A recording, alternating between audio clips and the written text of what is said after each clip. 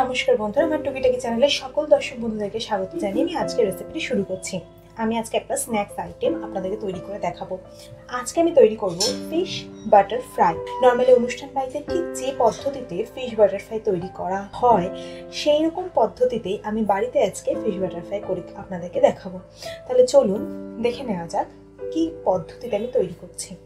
আমি এখানে তিনশো গ্রাম মতো ভেটকি মাছের ফিলে নিয়েছি। আপনারা চাইলে বাসা মাছ বা ভোলা মাছেরও ফিলে নিতেই পারেন বা আর মাছের ফিলেও নিতে পারেন।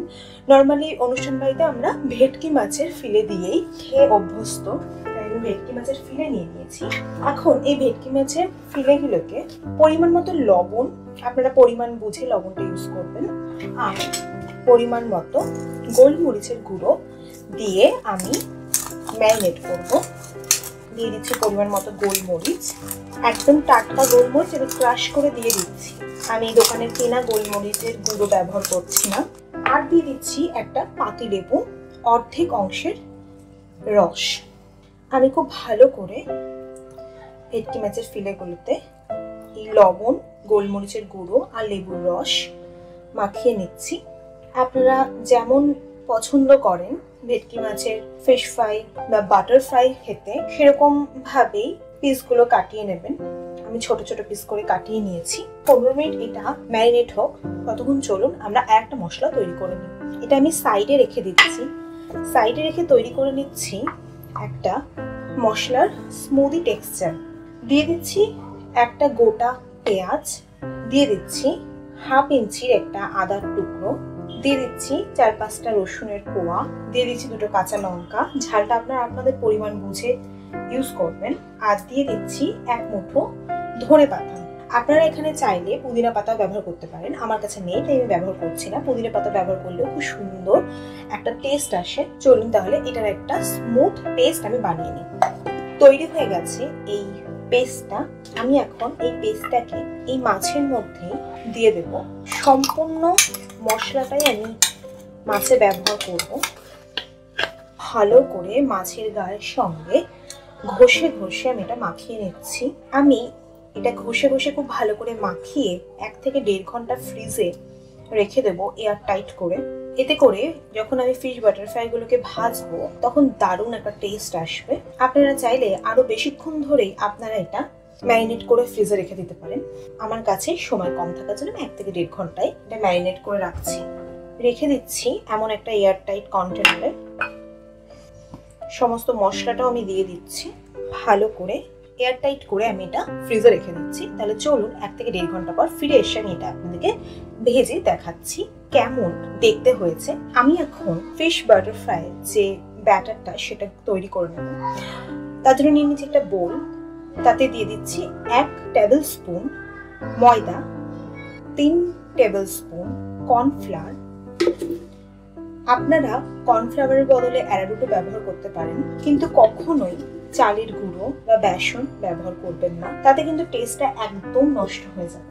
দিয়ে দিচ্ছি বেকিং পাউডার দিয়ে দিচ্ছি হাফ টিস্পুন আর বেকিং সোডা দিয়ে দিচ্ছি হাফ টিস্পুনের টু কম ওয়ান ফোর টিস্পুন যতটা বেকিং পাউডার আপনারা ইউজ করবেন, তার হাফ ইউজ করবেন বেকিং সোডা।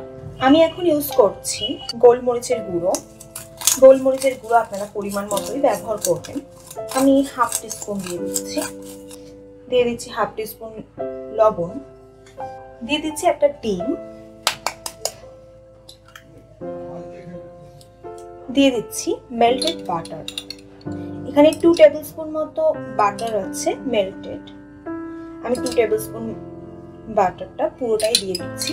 যেহেতু ফিশ বাটার ফ্রাই সেই জন্য বাটারটা তো মাস্ট খুব ভালো করে একবার মিক্স করে নিচ্ছি। এখন আমি দিয়ে দিচ্ছি তিন টুকরো বরফ। আপনাদের কাছে বরফটা অ্যাভেলেবেল না থাকলে আপনারা একদম ফ্রিজের চিল ওয়াটার ব্যবহার করবেন। এতে খুব ক্রিস্পি হবে বাটার ফ্রাইগুলো একটু অপেক্ষা করলে বাটারগুলো সব গলে যাবে। আর ব্যাটারটা একদম স্মুথ ঠিক যেমন টেক্সচার আমরা চাই, সেরকম আসবে। খুব বেশি পাতলাও গোলা যাবে না, আবার ঘনও গোলা যাবে না। আমি দেখিয়ে দিচ্ছি ঠিক ব্যাটারটা কেমন তৈরি হবে। ব্যাটারের কনসিস্টেন্সিটা ঠিক হবে এরকম। সমস্ত বরফ গলে যাওয়ার পর ব্যাটারের কনসিস্টেন্সিটা ঠিক এরকম এসেছে। একদম ঘন না আবার পাতলাও না। দেখুন, চামচের গায়ে কি সুন্দর লেগে আছে। ঠিক এমন ঘনত্বের ব্যাটারি আমাদের প্রয়োজন। এখন আমি ফ্রিজ থেকে বের করে নেওয়া সমস্ত ফিশগুলোকে একটা একটা করে ব্যাটারির মধ্যে দেব। আর গরম গরম তেলে ভাজবো। তাহলে চলুন চলে যাওয়া যাক নেক্সট প্রসেসে আমি কড়াই পরিমাণ মতো সাদা তেল দিয়ে দিচ্ছি, এটা সাদা তেলেই ভাজতে হবে। আপনারা চাইলে তেলের মধ্যে একটু বাটার দিতেই পারেন, তাতে টেস্টটা আরও সুন্দর আসবে, গন্ধটাও ভালো হবে। আমি আর বাটার ব্যবহার করছি না, যেহেতু আমি ব্যাটারে বাটার ব্যবহার করেছি। মোটামুটি তেলটা হালকা একটু গরম হলেই আমাদেরকে দিয়ে দিতে হবে। কারণ ফিশগুলো পুরোপুরি কাঁচা, যাতে ফিশগুলো আস্তে আস্তে ভেতর থেকে কুক হয় সেজন্য তেল হালকা গরম থাকতে থাকতেই আমি মাছগুলোকে ব্যাটারের মধ্যে কোট করে দিয়ে দিচ্ছি। এক্সট্রা ব্যাটারটা ঝরিয়ে নিয়ে আমি দিয়ে দিচ্ছি একটা একটা করে মাছ। আমি একটা একটা করেই ফিশ বাটার ফ্রাই ভেজে নেব।